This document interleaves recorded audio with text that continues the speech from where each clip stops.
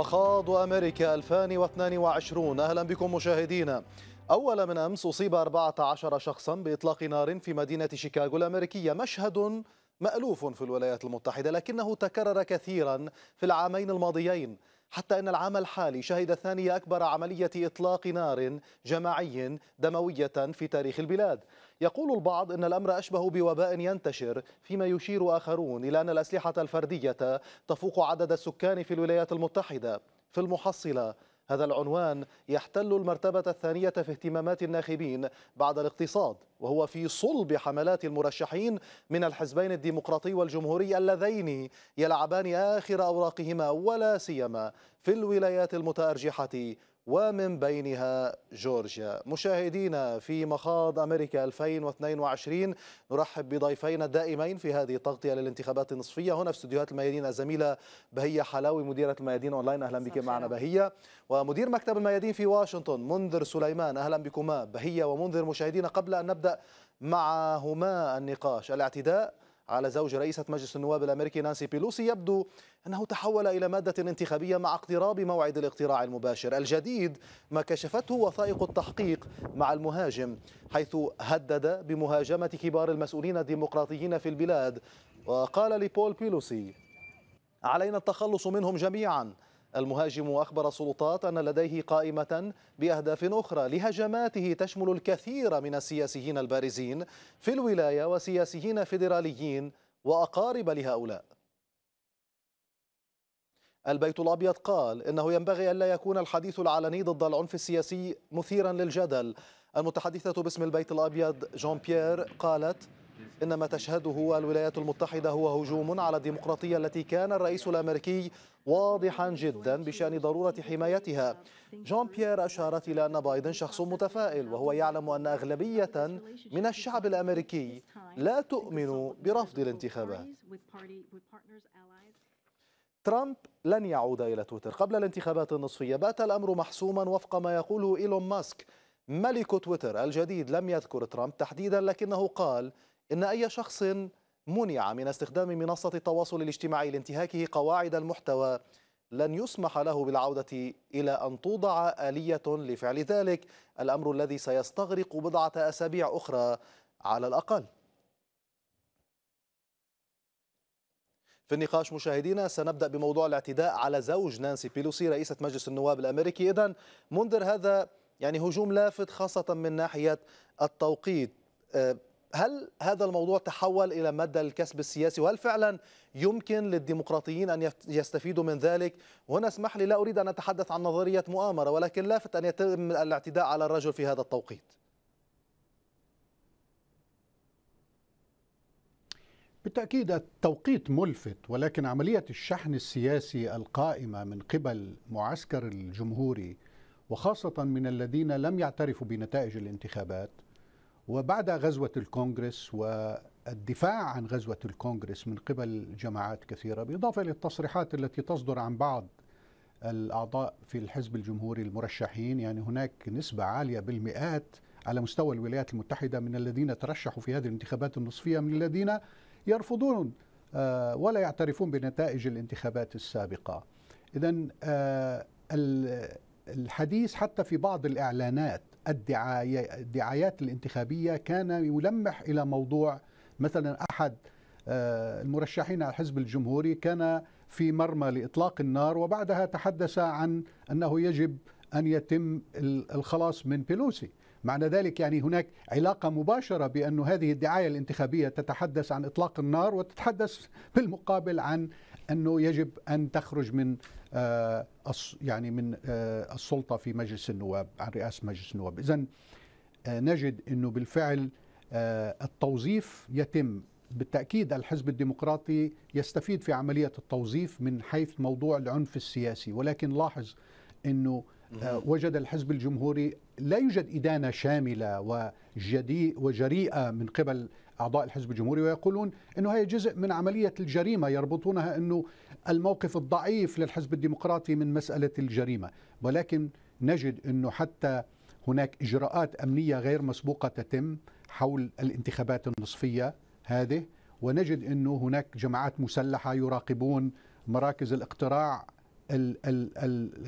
المسبق التي تتم بشكل مسبق وحتى يتم نعم. تدريب يقول الحزب الجمهوري تم تدريب حوالي 30 ألف من أعضاء الحزب الجمهوري لمراقبة الانتخابات إذا آه هذا الموضوع هو من زاوية يستفيد صحيح بالدعوة إلى إدانة العنف السياسي ولا من قبل الحزب الديمقراطي ولكن الحزب الجمهوري يرد على هذا الأمر مسألة فردية وقد يكون مختل عقليا وربما نعم. لأنه مهاجر غير قانوني لاحظ كيف عملية الصد لمحاولة الدفاع عن موقف الحزب الجمهوري المستمر والعنف على كل إنكار الانتخابات. على كل حال في الولايات المتحدة العنف مستمر بهي حتى على مستوى استخدام السلاح. آخر الحوادث نتحدث عن 14 إصابة في شيكاغو. هذا ربما رقم ليس كبير نسبة أيضا للجرائم التي حصلت مؤخرا. يعود هذا الموضوع مثار نقاش وجدال بين الحزبين الديمقراطي والجمهوري من أجل الكسب الانتخابي. نريد أن نعرف أكثر. بالتأكيد نذهب باتجاه الأرقام. عبد الرحمن الولايات المتحدة كدولة هي مختلفة بشكل بارز ولافت مقارنة مع دول أخرى دول متقدمة أو دول ذات الدخل المرتفع خاصة عندما يتعلق الأمر بموضوع اقتناء السلاح وموضوع العنف المسلح بشكل عام. يعني لا يوجد أي شخص آخر لديه ما يقرب من عدد الوفيات يعني لا ما في دولة أخرى فيها عدد الوفيات الناجمة عن الأسلحة النارية مثل بالولايات المتحدة الأمريكية. الأعلى عالميا؟ آه، بالكل يعني نتحدث مقارنة مع دول متقدمة آه. نعم. كل يوم يقتل أكثر من 110 أمريكيين بالبنادق. نتحدث عن أكثر من 200 إصابة. بمعدل أكثر من 40 ألف حالة وفاة سنويا. طبيعة الحال يعني مثلا من عام 2017 كان في حوالي 350 حادث إطلاق نار جماعي. ارتفع هذا الأمر للضعف تقريبا 700 بعام 2021 وما زال آه، يعني اخذا بالارتفاع. نتحدث عن عام 2022 حتى اليوم آه، سجلنا أكثر من 577 حالة قتل بإطلاق نار آه، جماعي. طبعا في ولايات متفاوتة يعني نتحدث مثلا تكساس نيويورك ارتفعت هذه النسب. في ولايات أخرى يمكن تتراجع مثل فلوريدا. وطبعا تقود الولايات المتحدة الأمريكية دول دول العالم من ناحية ملكية السلاح وانتشار السلاح. ونتحدث عن دول العالم المتقدم بموضوع حوادث إطلاق النار أيضا والإصابات والقتل والانتحار. وهي كما ورد في المقدمة يعني فيها سلاح أكثر من عدد الأشخاص. طبيعة الحال هذا يحول هذه المادة إلى مادة جدلية بالنسبة للحزبين الديمقراطي والجمهوري. يجري توظيفها اعلاميا سياسيا انتخابيا اليوم. قبل أن تكملي بهيه هنا موضوع التوظيف يعني كيف الديمقراطي يحاول أن يوظف وكيف الجمهوري؟ كي يفهم المشاهد من اليوم مع إباحة السلاح في الولايات المتحدة ومن ضد ذلك؟ آه، بالتأكيد يعني كما ذكر دكتور منذر هي أصبحت حرب سرديات. بالنسبة للحزب الجمهوري ومؤيدي الحزب الجمهوري بشكل عام هم من دعاة إلى اقتناء السلاح وسهولة الوصول إلى السلاح لتأمين الحماية الشخصية.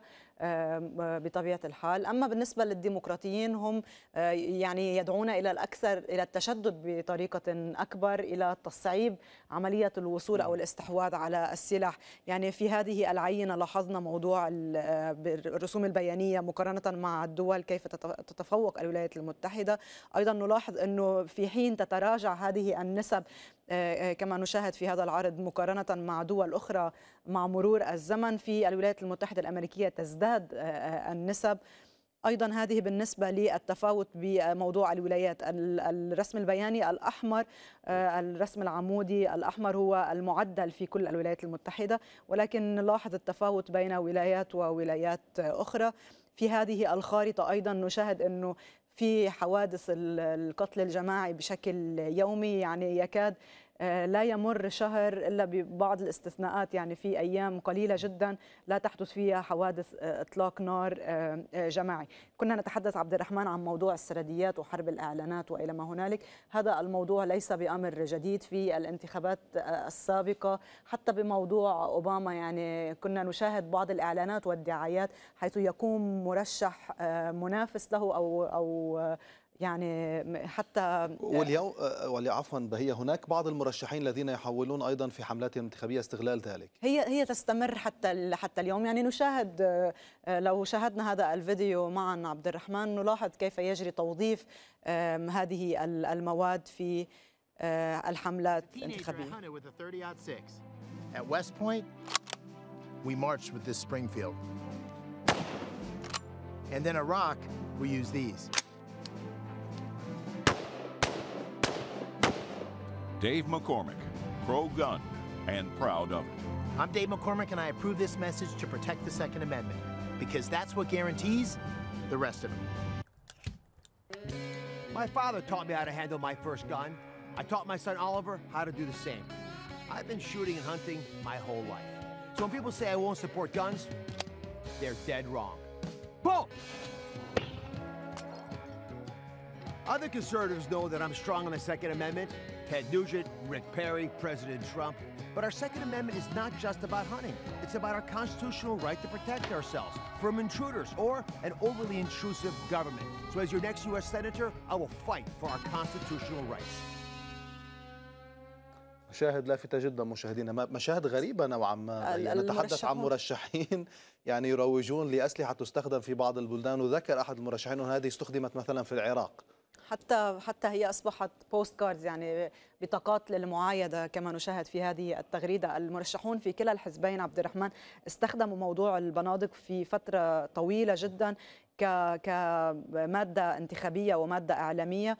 هذه يعني هي الصورة ها؟ نعم. لافته جدا أحدث الأرقام يعني بحسب تتبع وسائل الإعلام. في 121 إعلان جمهوري للتعامل مع الأسلحة 18 إعلان ديمقراطي. طبعا الإعلانات الديمقراطيين هي ترتفع حتى الكلف والاموال التي تدفع للترويج لهذه الدعايات ل يعني بطريقة معاكسة يعني لمحاربة موضوع اقتناء السلاح بمقابل الترويج والتشجيع الذي نعم. يروج له الجمهوريون. على كل حال سنكمل معك بهية ومع مدير مكتب المدين في واشنطن منذر سليمان. هذا النقاش مشاهدينا ولكن قبل استكمال النقاش مشاهدينا نتعرف إلى إحدى الولايات الحاسمة أو المتأرجحة أو البنفسجية كما تسمى. نتحدث تحديدا عن جورجيا. عندما فاز جو بايدن بهذه الولاية في الانتخابات الرئاسية لعام 2020 أصبح أول ديمقراطي منذ بيل كلينتون يفوز بأصوات الناخبين. نتحدث إذن عن جو بايدن الذي فاز كان أول ديمقراطي يفوز بالولاية منذ كلينتون عام 1992 في الدورة السابقة قلب الديمقراطيان جون أوسوف. نتحدث إذا مشاهدين عن جون أوسوف ومن؟ ورافائيل وارنوك بعد فوزهما بمجلس الشيوخ هذه الغرفة لمصلحة الديمقراطيين. يتنافس وارنوك تحديدا في هذه الانتخابات مع هيرشل ووكر وهو نجم كرة القدم مدعوم من ترامب وحافظ على دعم الحزب الجمهوري على الرغم من الكثير من الفضائح. 33% من الناخبين في ولاية جورجيا هم من الأمريكيين الأفارقة تتركز المعركة على مقعد في مجلس الشيوخ وآخر في مجلس النواب وعلى منصب حاكم الولاية. هنا ننتقل إليك منذر نسأل عن القواعد الانتخابية هذه المرة في ولاية جورجيا. يبدو أن هناك بعض التغييرات وما المرجح بالنسبة لهذه الولاية؟ أه، دعني فقط أضيف على الفقرة السابقة مسألة أن الغرابة في الولايات المتحدة أن الشاب بعمر 18 سنة لا يحق له قانونيا شراء الكحول. ولكنه يستطيع الذهاب إلى متجر سلاح ويشتري سلاح وهذا ما حصل أه. في إحدى الحالات الأخيرة التي سببت قتل جماعي المهم آه، يعني هذه مفارقة آه، رهيبة. آه، جورجيا خلال الانتخابات السابقة هناك أغنية شهيرة لمغني أفريقي أمريكي من أصول أفريقية يقول جورجيا in my mind. جورجيا هي دائما في آه، ذهني وفعلا كانت جورجيا آه، في الذهن بشكل كبير لأنها هي التي حسمت مسألة آه، فوز ولو بالتعادل لنقل مجلس الشيوخ 50 50 وجعلت من نائبة الرئيس هاريس تستطيع أن تصوت لصالح أن يكون الأغلبية للحزب الديمقراطي. اذا نحن الآن أمام فقط كما ذكرت حضرتك بأنه فقط في على مقعد واحد والملفت إنه في السابق كان يتم بين أبيض وأسود الآن هو يتم بين آه، آه، يعني اثنان إفريقيان أمريكيان من أصول إفريقية.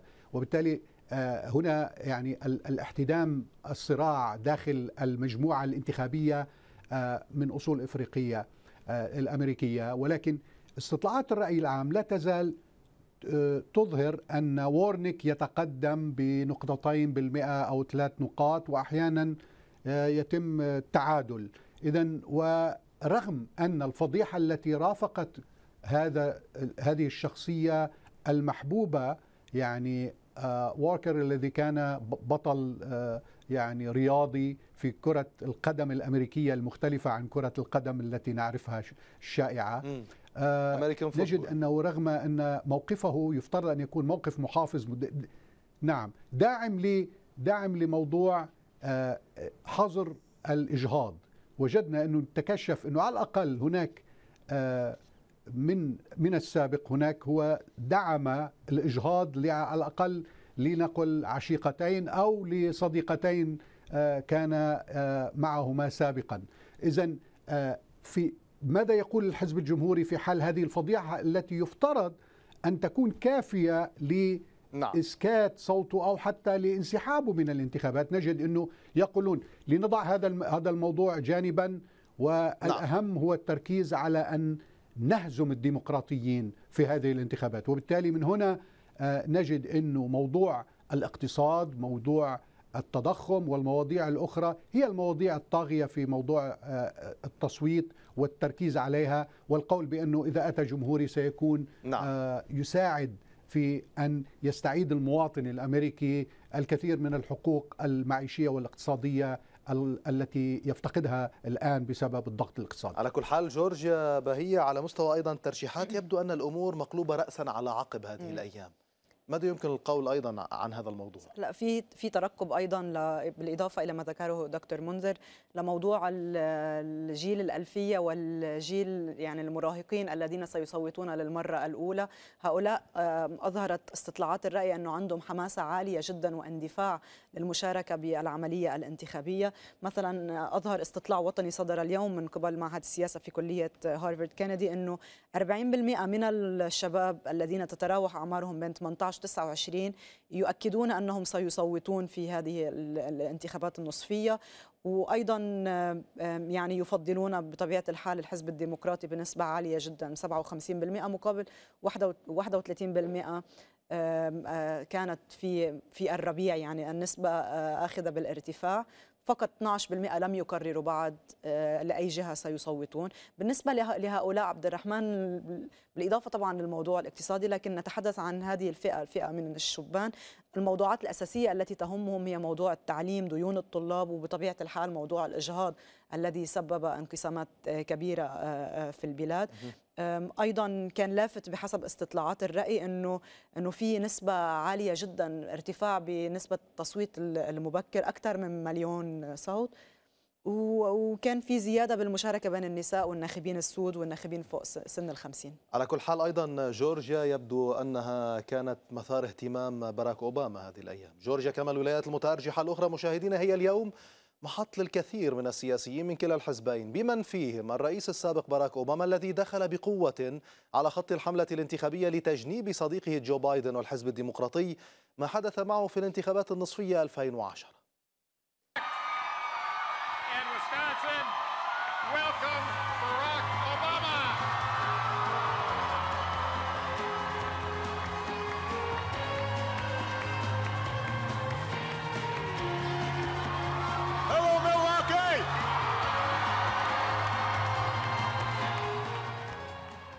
Pennsylvania, it's up to you.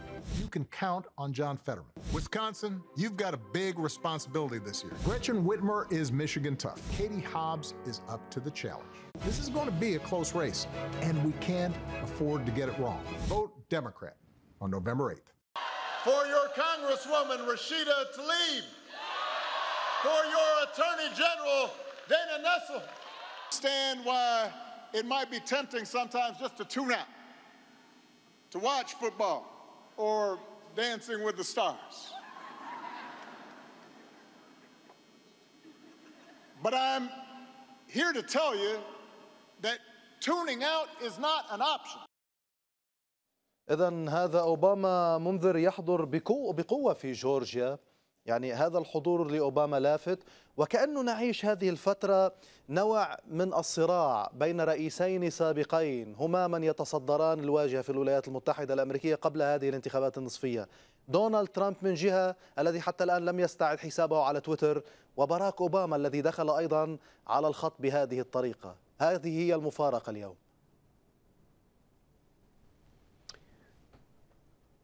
طبعا النجم الأساسي والذي لا يزال لديه البريق هو أوباما في الحزب الديمقراطي وهو يمكن القول أن نجمه يسطع أكثر من بايدن. وحتى أن ميشيل أوباما زوجته أيضا تحظى باحترام وتأييد وتقدير في القاعدة الديمقراطية، اذا استخدام هذا السلاح الماضي للحزب الديمقراطي مسألة ضرورية وحاسمة خاصه في هذه الولايات وهو الأقدر على الوصول إلى مختلف الفئات داخل الحزب الديمقراطي، صحيح انه الفئات الشبابية وغيرها ولكنه لأنه خطابه خطاب متماسك وهو محنك وبالتالي عندما يركز ويقول بأنكم هل مثلا في إحدى خطاباته الأخيرة قال لهم هل أنكم ترغبون في أن يأتي الحزب الجمهوري ليسيطر ليمضي العامين القادمين في محاولة أن يقيم دعاوي على آه، المسؤولي الحزب الديمقراطي بدل أن يهتم في تحسين الوضع الاقتصادي لكم.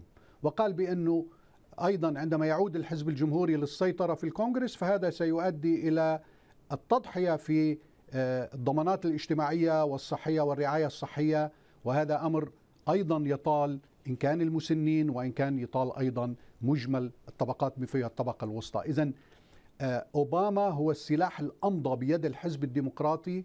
في مقابل كما ذكرت أنه ترامب لا يستطيع التحرك سوى بعض المهرجانات بينما أوباما يستطيع الحضور أكثر ويستطيع أن نعم. آه، أيضا يمارس آه، فنون الدعاية كما ورد بأنه حتى إذا لم يحضر شخصيا وهو سيكون نجم جماهيري في الحضور في أي مهرجان هو يستخدم أيضا المقاطع التلفزيونية للدعايات أيضا لدعم كل المرشحين الذين يفترض دعمهم والذين سيشكلون في الولايات التي سيشكلون الاحتفاظ بها للحزب الديمقراطي أو الفوز هو رجحان إبقاء الكونغرس بيدهم. اذا كما ذكر منذر بهيه حضور أوباما هو حضور مؤثر ولفت لأنه يحاكي مختلف شرائح الناخبين للحزب الديمقراطي ولكن أيضا هذا الموضوع يؤكد على أهمية أوباما من ناحية وعلى الحيثية التي تمتلكها جورجيا أيضا. بطبيعة الحال آه، اولا يعني يعود أوباما ليظهر بدور البطولة وخاصة مع مؤشرات تراجع حظوظ الحزب الديمقراطي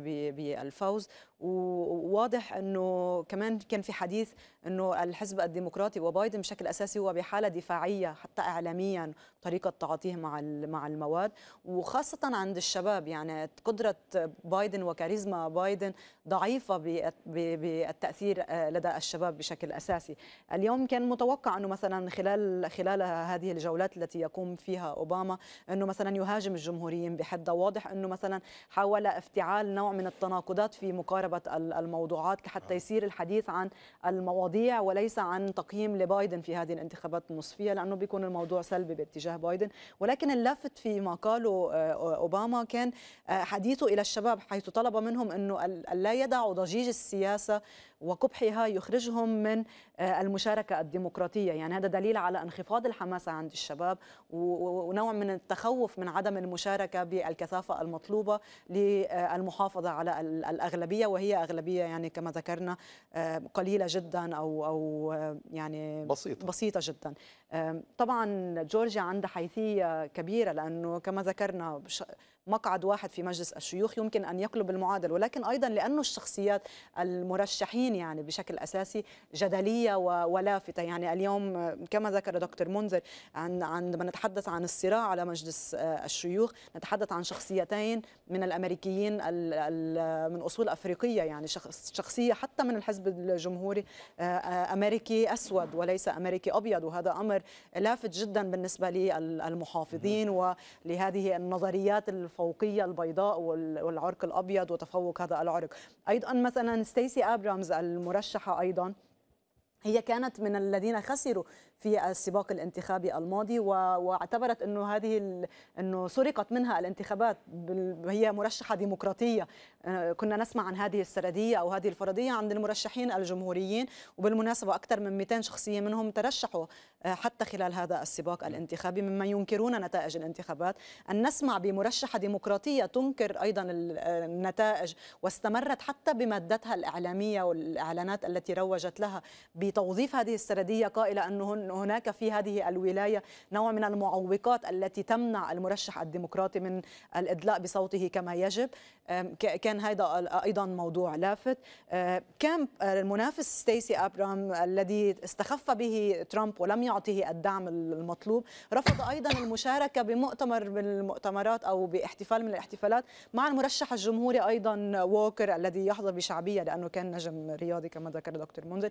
لماذا؟ لأنه ربما كما أشار لا يريد أن أن يركز الجمهور الأبيض على عرق المرشح آه. الأسود وبالتالي يمكن أن ينعكس هذا الأمر سلبيا على هذا المرشح نلاحظ يعني هذه الصراعات الداخلية الموجودة في الولاية وحساسية حساسية يعني الاختيار وخاصة بانعكاس يعني النتائج على صورة يعني نتائج الكونغرس بشكل عام وكيف سيتم يعني عرض هذه النتائج؟ ومع هذه المفارقات نصل إلى ختام مخاض أمريكا المتعلق بانتخابات كونغرس النصفية. شكرا جزيلا لك مديرة الميادين أونلاين بهية حلاوي كنت معنا هنا في استوديوهات الميادين.